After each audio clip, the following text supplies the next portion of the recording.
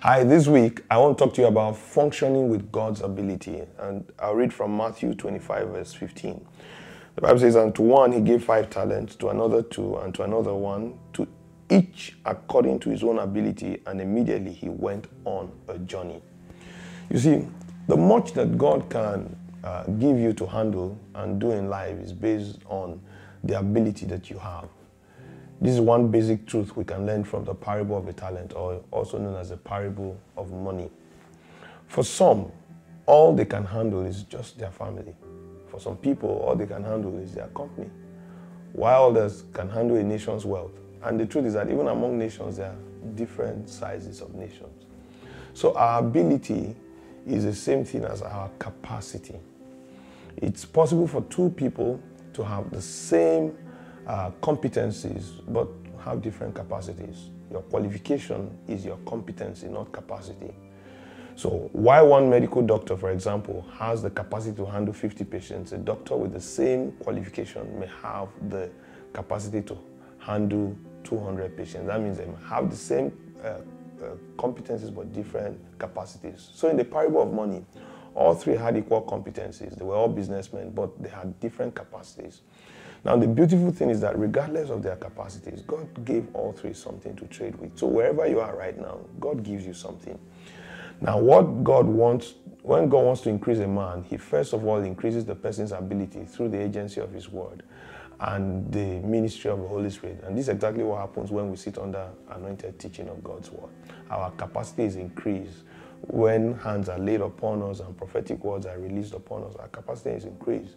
So God gives us his ability to function because capacity is basically more of a spiritual thing than a physical thing. So when Elijah ran from, you know, Jezebel for fear after killing the fake prophets of Baal in 1 Kings 18 and 19, he became tired, exhausted. He fell under a broom tree in despair and frustration. God helped him by sending his angel to prepare a meal and feed him. 1 Kings chapter 19 verse 8 says, So he arose and ate and drank and he went in the strength of that food 40 days and 40 nights as far as Horeb, the mountain of God. So you see, some believers struggle and are frustrated in business because they fail to take advantage of God's ability. The truth is, God has set ministry gifts in the body as apostles, prophets, evangelists, pastors, and teachers. These are angels or messengers that he uses to, quote, cook and uh, prepare the exact food needed for them to function in life. Sad but true, many don't take advantage of it. Let me tell you, make no mistake, regular attendance of church services, church events, and meetings increase your capacity to function in whatever you do. Because it's in those meetings that God enlarges and increases your capacity. Another example is Moses. He was a trained and competent prince of Egypt, but in matters of deliverance, he could only kill one Egyptian per time, as we see in Exodus chapter 2. So the question is, how long and how far could he go in that capacity, you see?